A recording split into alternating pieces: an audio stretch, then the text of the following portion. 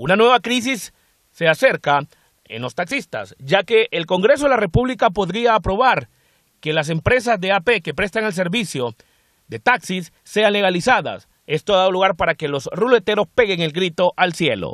El día de mañana habrá una reunión en Tegucigalpa donde ya están convocadas todas las seccionales y filiales de Ataxis y otras organizaciones que nos vamos a unir para emprender esta lucha de oposición a esta pretensión absurda del Congreso Nacional, que es de una pretensión del secretario del Congreso, don Tomás Zambrano, y otro diputado que se me escape el nombre, donde quieren eh, legalizar a este grupo de personas que en forma ilegal han venido operando en el, en el transporte en las distintas modalidades.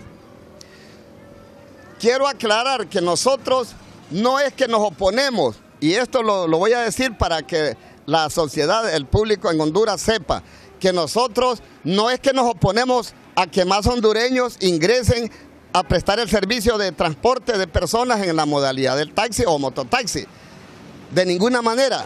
Lo que nosotros nos oponemos es a que esté saliendo cada día tanta gente que opera en forma ilegal sin importar un número, una concesión, sin pagar ningún impuesto, tanto a las municipalidades como al Estado mismo. Para Noticey les informó Eddie Andino.